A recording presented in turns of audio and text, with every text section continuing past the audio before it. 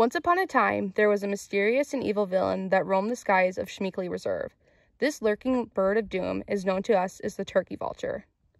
Wait, what? Did you just say turkey vulture and villain in the same sentence? Well, yeah, that's what it says right here. No, no way. Come with me. Vultures are often depicted as mischievous villains in animated movies, when in real life, vultures, like this one here, are misunderstood secret heroes. Okay, but how? I'll show you. Let's hit the trails of Schmeeckle. A visitor here at Schmeeckle dropped their bag on the ground. Who is the villain and who is the hero? The hero is the person picking up the bag, and that person can be compared to a turkey vulture.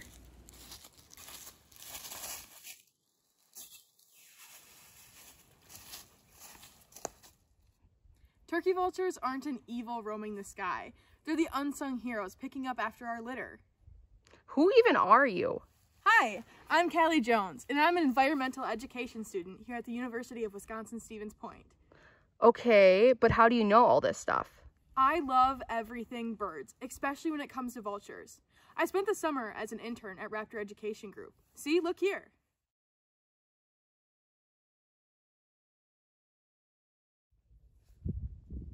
Mind if I continue? Sure. All right, as we were discussing, turkey vultures are our unappreciated garbage men. Turkey vultures don't eat live prey, they eat dead or decaying carcasses known as carrion. Turkey vultures keep Schmeeckle clean and safe from terrible diseases. In other words, without turkey vultures, Schmeeckle trails would have a lot less garbage bags and a lot more rotting flesh. Oh, wow, I didn't know that. Let's keep reading. Oh, what an ugly bald head you have. The better to eat carrion with, my dear. Oh, what a daunting beak you have. The better to keep clean with, my dear. Oh, what a large gaping nose you have. The better to smell you with, my dear. Hey, that's not what the book says. Well, the book is wrong, and this is slander. Their bald heads keep harmful bacteria from sticking to them, and their sharp, hooked beaks allow them to not only tear carrion in an efficient way, but it also helps them to constantly preen and stay hygienic.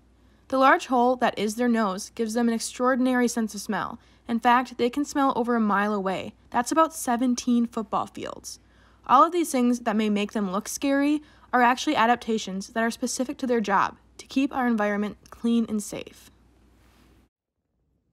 Wait, there's more, and it's not looking good. This wretched bird of darkness has a grotesque way of capturing its prey. It uses none other than an acid forest burning vomit. Not quite. Vultures do have an acid vomit, but it's not quite forest burning. Vultures, as we said, don't eat live prey. They're eating dead and decaying carcasses, again called carrion. So they need something to protect themselves. So they have acid juices in their stomach that help them beat diseases like cholera and bad bacteria, not only keeping us safe, but also them. And yeah, they do vomit sometimes, and it is acidic, but it helps keep them safe from predators and out of danger. They can even vomit their food up to 10 feet away. It's a pretty cool superpower if you ask me. You know, I think I need to start shopping at a different bookstore. Yeah, that might be a good idea. Why don't you put the book down for a second? Let's go explore the trails of Schmeeckle. Will I see a vulture? It's very likely. Vultures are often found soaring up in the sky. In fact, Vultures can soar up to six hours on just one flap of their wings. That's pretty cool. I think I might go bird watching right now. I hope you spot one. And remember, don't judge a bird by its feathers.